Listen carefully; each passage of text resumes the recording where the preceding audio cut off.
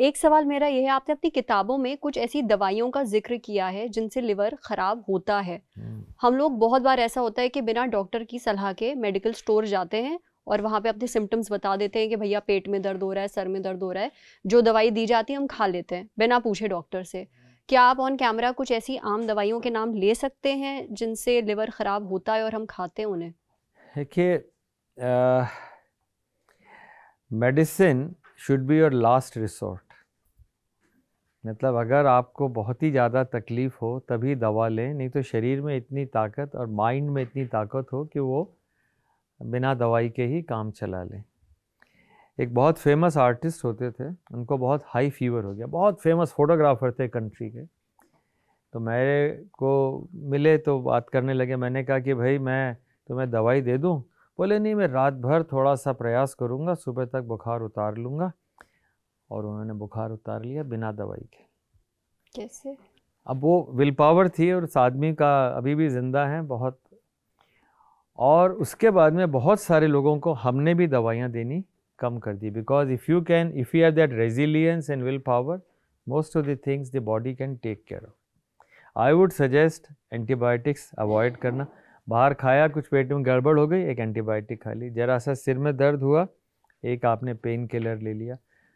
Of these are the commonest cause of liver injury antibiotics painkillers third common cause is tuberculosis की दवाइयाँ ये सारी की सारी चीज़ें लिवर को नुकसान कर सकती पर हाँ हम क्यों यूज़ करें? किताब में मैंने चार लाइफ लाइन की बात करी। पहली लाइफ लाइन है आपकी आपकी डाइट और आपका वेट उस पर अपन चर्चा कर चुके हैं। डाइट पर भी और वेट पर। That is your lifeline second lifeline है आपकी एक्सरसाइज आप करते हैं एक्सरसाइज मैं ब्रिस्क वॉकिंग करती हूँ। वॉक आफ्टर एट्टी जी।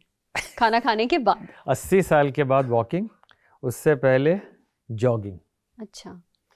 और एनी अदर विग्रस एक्सरसाइज अच्छा विग्रस एक्सरसाइज क्या होती है? मतलब जिसमें कि काफ़ी एक्सरसाइज हो उसे क्या होता है? पसीना ज़्यादा निकले? बिल्कुल सही कहा। जब जब तक पसीना नहीं आए वो वार्म अप है। जब से पसीना आए उसके बाद 30 to 45 minutes that is exercise और उसका एक बड़ा अच्छा टेस्ट होता है जिसे कहते हैं talk test what is talk test सुनने में तो ऐसा लग रहा है कि आप शायद बोल ना पाए ऐसी exercise exactly you hundred percent correct तो जब आप बोल ना पाए, एक सेंटेंस ख़त्म ना कर पाए और आप एक्सरसाइज कर रहे हो that is called talk test that means you have reach the level ना हमें घड़ी चाहिए, वो महँगी महँगी घड़ियाँ आजकल आती हैं। वो सिर्फ़ मीटर से नापती हैं, दो हज़ार मीटर कर लिया, तीन सौ स्टेप कर लिए नो पॉइंट किलोमीटर्स में नापिएगा।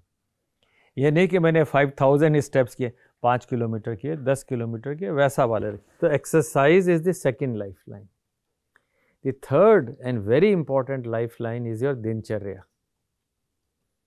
A restorative good quality sleep. दुनिया में ढाई तो सुख है। कौन से ये ढाई सुख? ढाई सुख हैं तीन नहीं।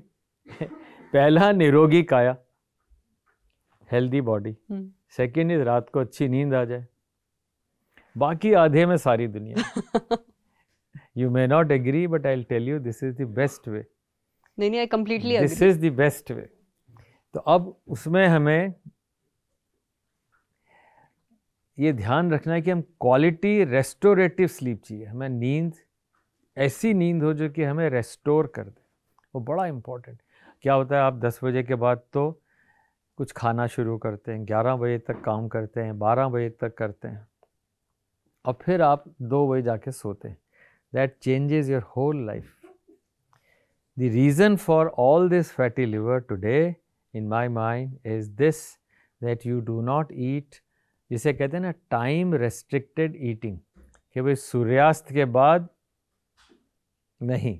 जब सात साढ़े सात तक आप खाना खा लीजिए। सूर्यास्त के बाद नहीं सूर्योदय के बाद। This is you know way the Ayurveda the way we have all in this century is the Indians have grown is this time restricted eating intermittent fasting कोई ज़रूरत नहीं।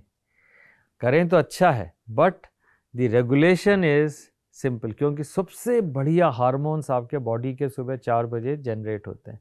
You are in that real Brahma Muhurta so it's not teaching philosophy it is the human physiology तो मैं कहूँगा कि सबसे important है दिनचर्या time restricted eating and yes अगर आप एक्सरसाइज कर रहे हो, खाना टाइम पे खा रहे हो तो दीर्घायु होंगे, निरोगी रहेंगे, इसमें कोई डाउट नहीं।